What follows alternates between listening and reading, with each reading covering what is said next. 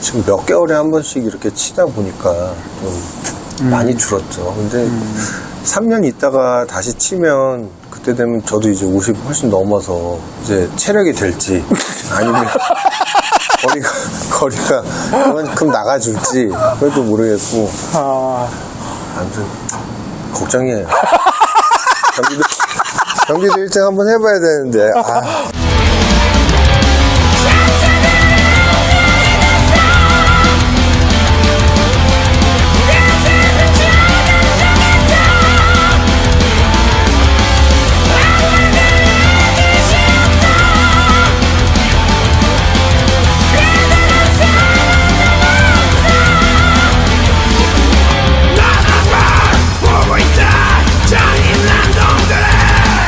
근데 약초를 먹어서 아 약초 좋습니다. 어, 약초를 먹어서 보컬에 좋은 장점이 생겼나요 많이? 산을 타면 우선 산이 평지가 아니잖아요. 어. 그래서 어떤 이런 호흡이나 이런 데 되게 많이 도움이 아, 이게 또 건강한 등산이라는 얘기가 있는데 딱그 말이 맞네요. 그렇죠. 근데 등산로에는 약초가 없죠. 길이 없는 대로 올라가야 되니까. 막 나무 붙잡고 막, 막, 어. 그러고 올라, 땅 기어가면서 올라가야 되니까. 어, 정말 힘든데, 진짜 재밌는 것 같아요. 그래서 뭐 지금 현재 대한민국 헤비메탈 보컬 그리고 나이대로 치면 저희가 이제 70년대생이라고 치면 뭐 이렇게 소리 낼 수 있는 보컬이 솔직히 흔치 않거든요. 왜냐면 너무 또 그 강렬하고 또 꽂히잖아요. 헤비메탈의 꼭 고음. 네, 그렇죠. 뭐 그러다 보니까 다들 이제 음역대가 막 떨어진단 말이에요. 근데 우리 조성아 씨 같은 경우는 이걸 유지할 수 있었던 비결이 산, 약초, 운동, 어, 이런 호흡법. 이게 운동을 해서 그런지 몰라도 저는 이렇게 몸을 좀 혹사를 안 시키면 아프더라고요. 그래서 혹사를 많이 시키는 편이에요. 그러니까 골프 같은 경우도 사람들이 이렇게 얘기를 하면은 믿을지 안 믿을지 는 모르겠지만 저희 그 집 밑에 그 닭장이라고 있었어요. 닭장? 네.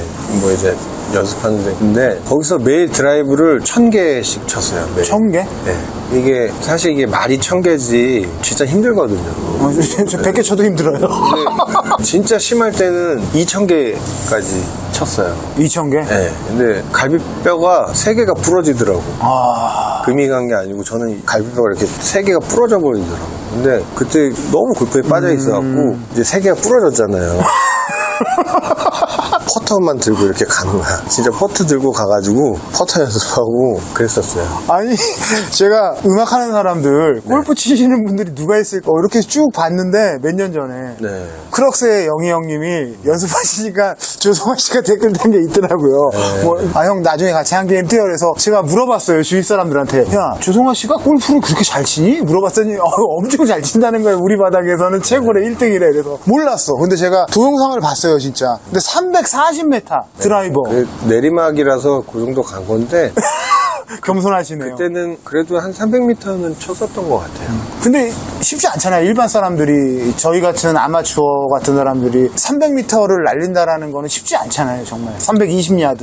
네, 300, 네, 30 미터죠 미터. 300m. 300m. 저도 뭐 처음부터 그랬겠어요. 그래서 내가 때려 내니까는 뭐 조금씩 늘고 조금씩 늘고 그랬던 거죠. 어, 음악과 골프는 어떤 관계가 있나요? 조성아 씨한테. 이게 좀 어떻게 생각하실지 모르겠는데 저희는 이제 공연을 이제 여러 팀들이 공연을 할 경우가 많잖아요. 공연할 때도 항상 저는 개인적인 원한은 없지만 내가 이들을 다 쓰러뜨려야 된다라는 항상 그런 생각으로 무대에 올라오거든요. 음, 그게 뭐 노래든 연주든 뭐 액션이든 뭐든 아무튼 그래야 된다라는 마음가짐으로 무대에 오르는 편인데 그게 꼭 결과적으로 근데 그런다고 해서 다 저희가 뭐 되지는 않더라고요. 근데 한 마음가짐은 아무튼 그렇고요. 골프도 저는 목표를 정해놨었어요.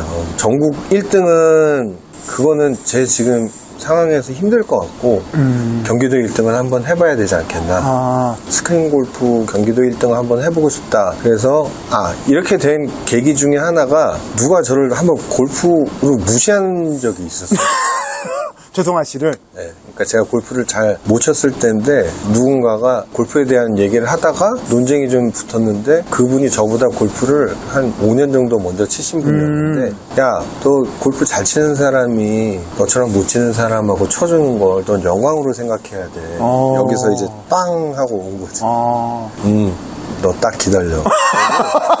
그러고선 이제 그때부터 막 미친 아, 듯이. 어떻게 보면 승부욕이 발동된 네. 거네요. 근데 당연히 이제 제가 이제 그다음부터는 이겼어요. 이겼는데 연락을 안 하더라고요. 연락을? 그때 지더니. 진 이후로 굉장히 소심하신 분이네요. 그릇이 작다. 좀 반대로 저는 매일 무시당해도 그냥 기덕거리고 아 참 제가 열심히 해야겠네요. 예. 저는 매일 무시당해요. 그- 이게 그 골프 치다 보면은 내기 같은 거 하잖아요. 예, 예. 게임비 내기도 하고 뭐 당구처럼 게임비 내기도 하고 뭐 그러는데 그 사람한테 제가 질 때였었어요. 그럼 제가 항상 이렇게 그 사람 게임비를 내줘야 되는 그런 상황이었는데 이제 입장이 반대가 된 거죠. 그쪽에서 이제 게임비를. 예, 연락을 안 하더라고. 음, 그 전에는 매주 연락 와서 같이 치자고 그랬었는데 아무튼 그렇게 됐어요. 그게 이제 그렇게 하다 보니까 어느 순간인가 제가 이렇게 뭐 어, 순위권 안에도 들고 대회에서 1등도 많이 하고 뭐 이렇게 된 거예요. 그래서 아무튼 동네 대회나 이런 데 항상 뭐 상품은 걸어 놓거든. 금, 골프백 이런 거 걸어 놓으면 저희 동네 건 제가 다, 다 가져왔으니까 네, 다. 어, 나는 어, 다시 한번 얘기하지만 조성아 씨가 이렇게 재밌는 분인지 처음 알았습니다. 어, 너무 재밌으시네요. 아유, 아닙니다. 아니 그 선물들은 아직도 모으고 계시나요? 그거를 제가 금만 한 몇십 돈을 받았어요. 오, 몇십 돈. 네, 몇십 돈 받고 또 뭐 골프 용품 뭐 가방이나 이런 것도 많이 받고 그랬는데 결론은 이제 집사람이 제가 이제 아기들이 어리니까 음, 이제 못 가게 하는 지경까지 와서 애가 어린이집 갈 때까지만 너 쉬어라. 그래갖고 알았다. 네, 그렇게 됐죠. 뭐. 지금 그럼 어린이집 계속 다니고 있나요? 아니 아니요. 아직 못 갔으니까 못- 내년에 하나 가고 네.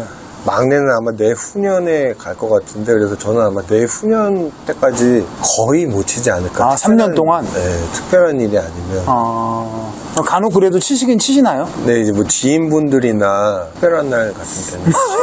원래는 제가 그래도 일주일에 한 두 번, 세 번씩은 쳤었거든요. 근데 지금 아예 그런 게 안 되니까. 아, 그럼 3년 있다가 이제 경기도 1등이 목표로. 그때 되면 또 이게 골프가 되게 웃긴 게 당구는 좀 쉬어도 제가 당구도 한 200 정도 치는데 당구는 그래도 좀 이렇게 좀 쉬었다가 쳐도 길이나 이런 걸 아니까 금방 또 오거든요. 근데 골프는 뭐 하루 이틀 안 치면 이 실력이 떨어지는 게 느껴져요. 근데 그게 뭐 일주일 되면은 이제 남들이 알 정도로 어? 이게 왜 갑자기 이렇게 됐냐 이 정도로 근데 지금 몇 개월에 한 번씩 이렇게 치다 보니까 좀 많이 줄었죠. 근데 3년 있다가 다시 치면 그때 되면 저도 이제 50 훨씬 넘어서 이제 체력이 될지 아니면 거리가 거리가 그만큼 나가줄지 그것도 모르겠고. 아, 아무튼 걱정이에요. 경기도 경기도 일정 한번 해봐야 되는데. 아